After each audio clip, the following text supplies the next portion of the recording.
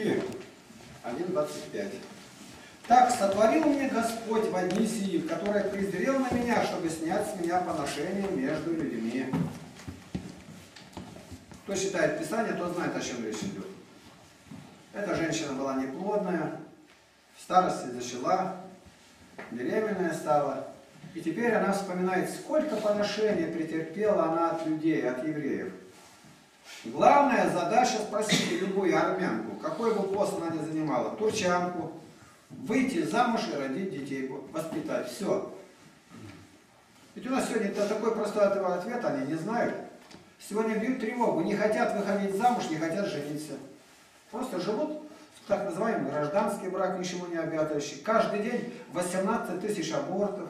Ну и все прочее, там все это предохранение. Почему? Вопросы эти почему никто не ответит, если не будет читать Библию.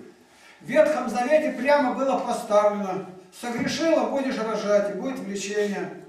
После каждого мучения ты не, будешь желать, пройдет во время, опять будет влечение. Вот ведь как дело там стоит. Сегодня у меня так сошлось, что и на евангельское, и на апостольское чтение о женщинах речь идет. Не надо забывать, что мы живем в Новом Завете. Господь сказал и сотворил. Сказал, да будет. А когда творил человека, написано сотворил. А где да будет? В думу, дыхании, как бы там от одного слова, а здесь сам деятельно принимает участие. И потом вдруг все творю все новое. Что, перестройка наступила? Да ты все хорошо сделал. Когда закончено было, и вот все хорошо, запятая весьма хорошо. Почему новое-то? Грех вторгся. Человек послушал врага, стоящего слева.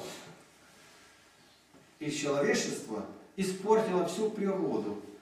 Лев, может быть, изменил зубы, по-другому они были устроены у кошки. Питались-то все травой.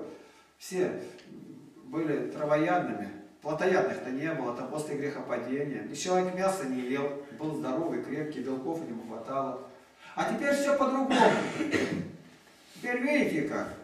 Стали ее упрекать, и житие Елисаветы Захария говорит, как ее упрекали. И он плакал, и она, он увидел голубку, там, ну, может быть, это уже Дмитрий Ростовский, как хороший писатель, очень талантливый, сказал, что у голубки и то столько детей. Она быстро выводит, 4-5 выводков за лето успевает дать. А у меня, ну хоть одного бы родить.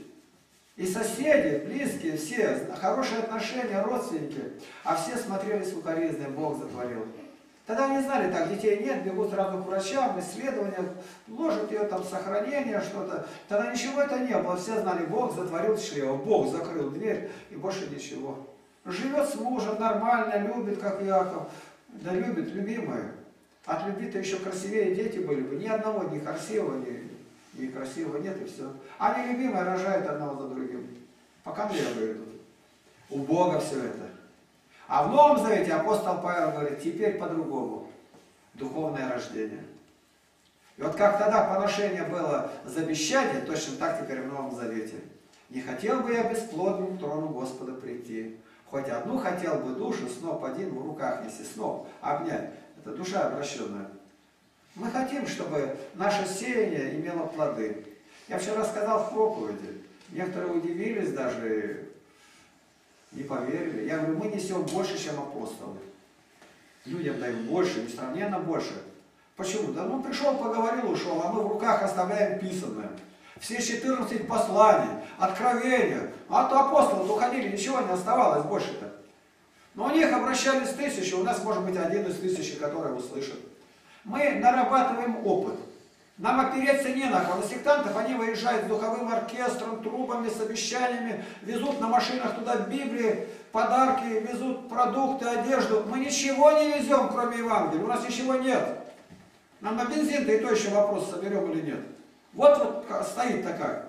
И мы заметили, вот два села рядом. Подстепно развалится. Все развалено, потому живут выше. Там, где хуже, 21 человек пришел. А там, где лучше, один только пришел. А работа одна и та же. Понимаете как? Там, кажется, все на развал идет. Ну, 21 один, все-таки заметная разница. А то мы-то не знали, если бы не ездили. Мы одинаковые, те же самые люди, столько же людей, та же работали. А там глава администрации пришел, там помогают, там пришлось выступить. А здесь ничего этого не было. Просто побыли, прошли, Евангелие раздали, никто не пришел, немножко побеседовали. И тамошние, которые с каким удовольствием глава администрации принимает книгу, а здесь противоречить начала, а потом уж ладно, давай. Даже как, как будто навеливаем мы. А живут лучше, прям заметно лучше. Видите? Поэтому у Бога все вымерено. Первая книга Царств 1.19. «И встали они поутру, и поклонились перед Господом, и возвратились и пришли в дом свой в Раму, и познал Илкана Анну, жену свою, и вспомнил о ней Господь». Такие слова вспомнил, как будто Бог забывает, забыл. Одна женщина, если он забыл ей чрево открыть, она не рожает. А потом Бог вспомнил, достучались до него. И сходили и поклонились. Поклоны делайте правильно. Поклон должен быть такой, что если себя проверить, рука пол достала. Ну что вы кланяетесь? Это не поклон, это обман. Поклон должен быть полный. Мне очень нравится выражение, которое официально приписывают, будто патриарх вещи сказал, но оно из Библии. Отучили молиться, отучили трудиться. Вот поэтому у нас ничего нет. Какая религия у японцев? А вы знаете, как их детей учат? Кому поклониться? Поклон. На сколько градусов наклон? Матери, а на сколько отцу? Насколько начальнику, насколько императору. И он точно знает, и он муштрует каждый день. Поэтому столько там самураев, столько смелых людей, столько изобретения. Ну все оттуда, нашего там ничего не продашь. Ничего нет. У нас отучили молиться. Вы себя испытайте однажды. Стань просто с женой и скажи, когда мы жена молились вместе с детьми, поклоны делали. Ну немного, хотя бы семь. Семь поклонов сделай, а потом перейди на 70. Сто поклонов требует всего 7 минут. Ты что упираешься? Речь идет о чреве. Земные поклоны. Земной на поклоны, батюшка говорит, но когда Андрея Критиков считает, не приходит, даже не верится, неужели? Это мы вот в Барнауле ждем, у нас люди приходят, как это не приходить? Земные поклоны, пост, Пост полный, никогда не пьет человек, не ест. Вот она постилась, молилась, поклонилась, вернулась, Бог отверз чрево. Бог многое отверзет. Нам нужно, чтобы Бог отверз духовное чадородие. Первое Царство 1.6. Соперница ее сильно огорчала ее, побуждая ее к ропоту на то, что Господь заключил с чревою. То есть это общее мнение было. И таких людей побуждали как жена Иова, похули Бога и умри, это побуждало. Это Бог затворил. Не муж виноват, я-то рожаю. Анна и Финана. И вот у Анны детей не было, а у Финаны, и не говорится, что многоженство вредно или было многоженство. У Якова четыре было жены, две жены, две наложницы. У мусульман э, четыре, не больше. Ни один мусульманин не может иметь пять жен, четыре жены, а наложниц может четыре тысячи иметь. Сегодня. Как в Брунее султан.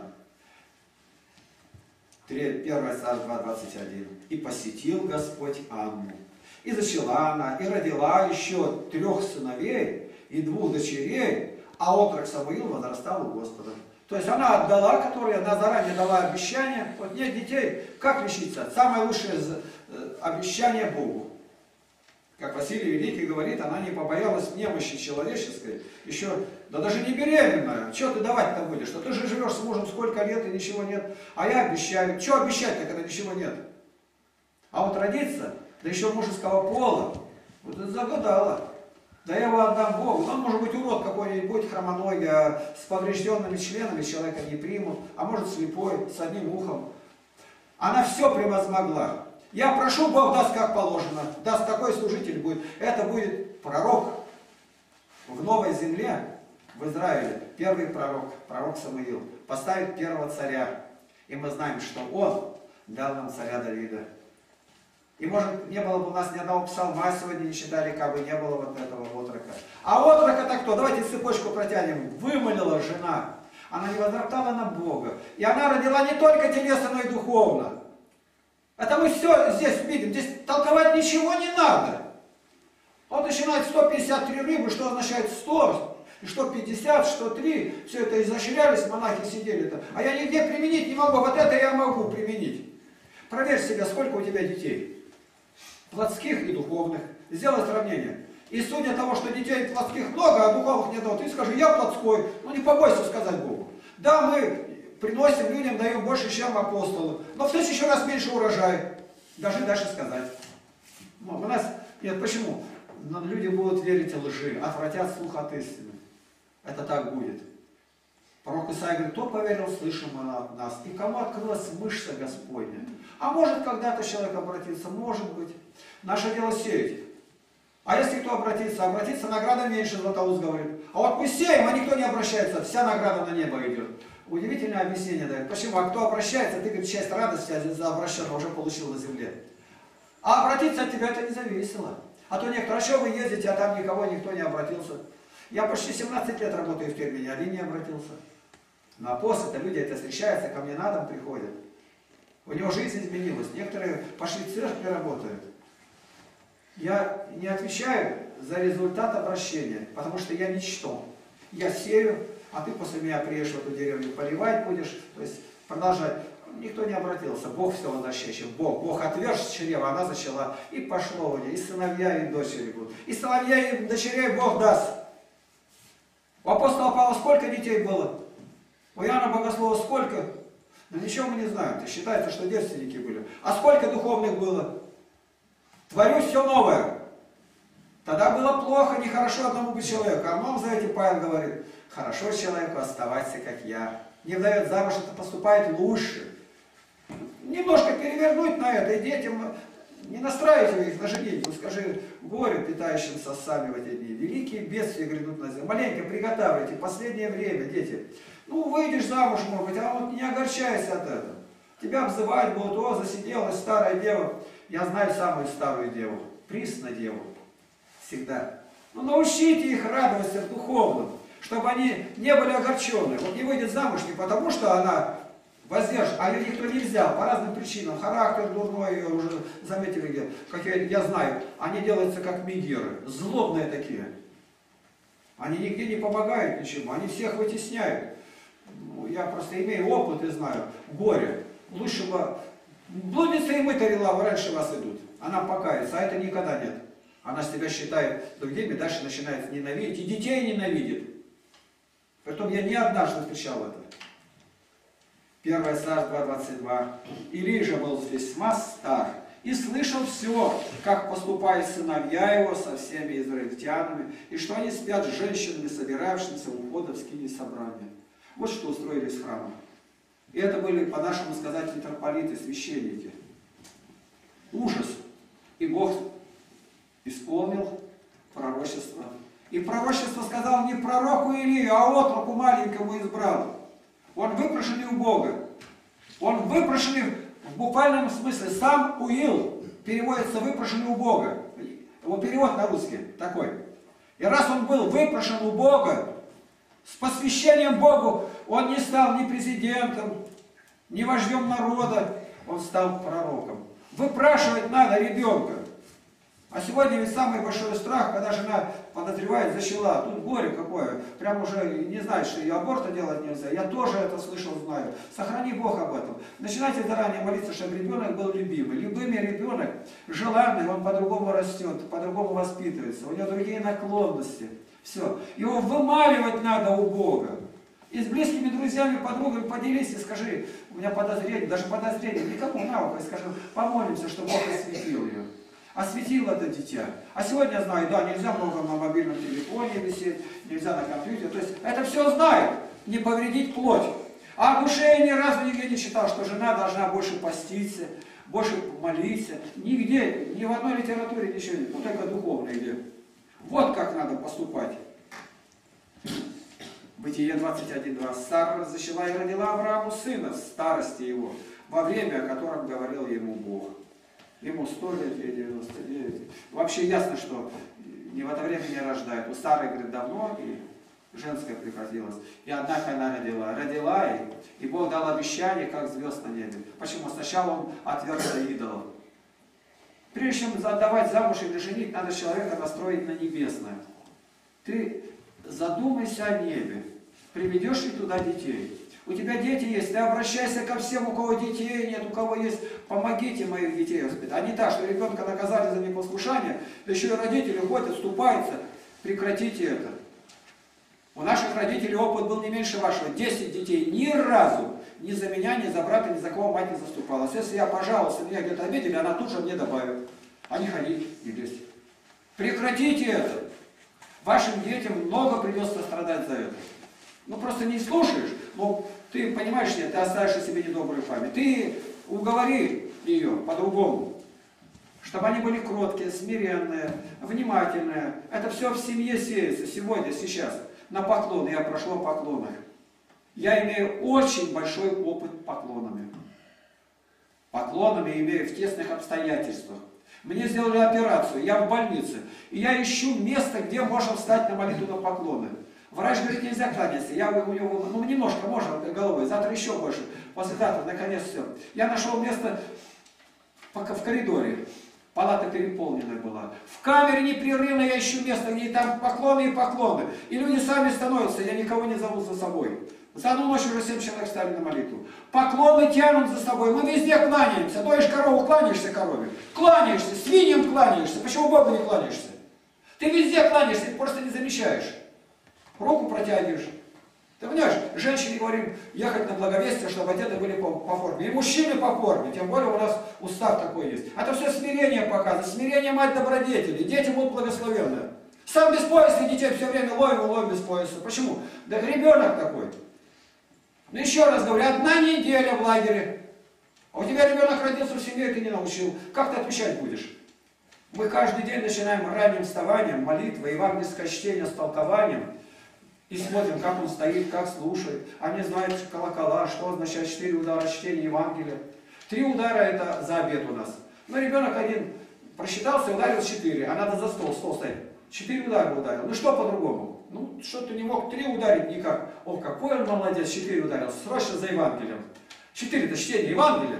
Сразу побежали, Евангелие принесли и начинаем заниматься. А обед стынет. Все на него сукоризно смотрят. Я его оправдываю. Он молодец сделал, он хорошо сделал. Он нас на Евангелие призвал непроизвольно. Он не хотел этого. Они больше никогда не ударят четыре, есть охота. Но это в памяти останется. Один раз, не в урочное время, Господь призвал нас на духовное служение. Бытие 30, 22, 23. И вспомнил Бог о и услышал ее Бог. И отверз утробу ее, она зачала и родила сына, и сказала, снял Бог позор мой. Начните в духовном плане так молиться. Не просто говорить, ну, хоть с одним-то надо прийти. Ну, хоть один бы сноп в руках нести. Прямо каждый день надо молиться. Они поехали, Господи, я в этом участница. Если кто обратится, пусть моя сын, дочь или сын там родятся. Ну, прям молитесь с Богом, научитесь разговаривать. Бытие 25-21. Молился Исаак Господа жене своей, потому что она была неплодная, Господь услышал его, и зачала Ревека жена его. Он молился, он просил, ну, все творил новое, теперь духовное рождение. Об этом все святые отцы говорят. Войди в это. Там позор был и здесь позор. Там они молились и здесь надо молиться. Это позор. Жизнь прожил и нигде никого нет. Евреям 11.11. 11. Верою сама Сара, будучи неплодна, получила силу к принятию семени. И не по времени возраста родила, ибо знала, что верен обещавший. Нам Бог обещал, Слушали меня, буду слушать вас. Возьми это себе за основу. Близок Господь с сокрушенным сердцем. Сей всегда, пожнешь, что посеял тогда. Три части пропало семени, но одно упало на плодородную. Будет что-то. Мы не знаем, когда и где. Вы бы знали, какие я получаю звонки за книги. Буквально со всего мира звонят. Я читал, у меня все по-другому стало. Один говорит, я уже ушел в баптиста, попала ваша книга, я сразу вернулся к православным. Я не знаю, это только звонит, а кто не звонит. Это не мое. Кто в этом участвовал, в издании, помогал, это все и ваше. Я себе это не, не могу приписать. Это духовное, чудное рождение. Мы не знаем, вот сегодня человек рождается в роддомах, везде. Как перед Богом это все. Горе рождающим, питающимся сами. Но написано, кто обращается, возвращается к Отцу Небесному, ангелы на небесах радуются. Не поздравляют здесь, но у тебя сын родился. А ангелы на небе. Ты хочешь ангелов порадовать? Позаботься, чтобы обратились домашние твои, близкие, отец, мать, братья, сестры. Священники, чтобы обратились к Богу. Исайя 4.1. Будет такое время, мужей не будет, и ухватится семь женщин за одного мужчину в тот день, и скажут, свой хлеб будем есть, и свою одежду будем носить, только пусть будет, будем называться твоим именем, сними с нас позор, что они не замужние, чтобы мы его фамилию переписать. Семеро за одного. А как тогда в духовном написано, от моря до моря будут ходить, и все будут за тебя хвататься, а ты знаешь Слово Божие. Будут ходить и искать. Это в духовном плане сегодня. Сними с нас позор, мы неверующие. Не надо бояться сказать этого, эти слова. Да, начни отсчет. Это точка отсчета. Вот с этого момента я стал верующим. Нигде ничего не нарушаю. Тебя, если сегодня Господь в пленение возьмет, это у мусульман, ты будешь носить все, что они скажут. Есть их пищу. Змею будешь варить в Китае, потому что есть будет нечего. Почему сегодня упрямничаешь?